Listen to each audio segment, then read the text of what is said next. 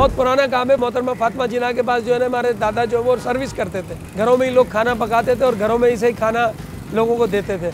उसी तरह से करते करते करते, आहिस्ते आहिस्ते ये फ़ील्ड हमारी चलती गई और अब हम बाकायदगी से दो ब्रांच हम चला रहे हैं रेस्टोरेंट थाली के अंदर तकरीबन यूँ समझते ग्यारह से बारह आइटम है। ये सारी चीज़ें हम लोग सिर्फ़ तीन सौ रुपये में देते हैं।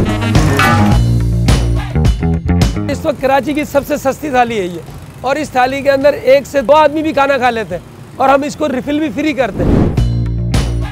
जो दाल यूज़ करते हैं, इसके अंदर मूंग और मसूर की दाल होती है, जिसकी वजह से लोग पसंद करते हैं और इसके अंदर हम खास किस्म का एक चावल इस्तेमाल करते हैं, जो चावल खाने में मीठा है।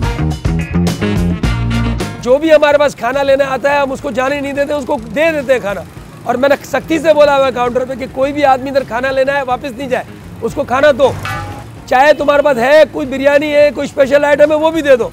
उसको खाना दे दो, ताकि उसके खाने से भी एक बरकत होती है।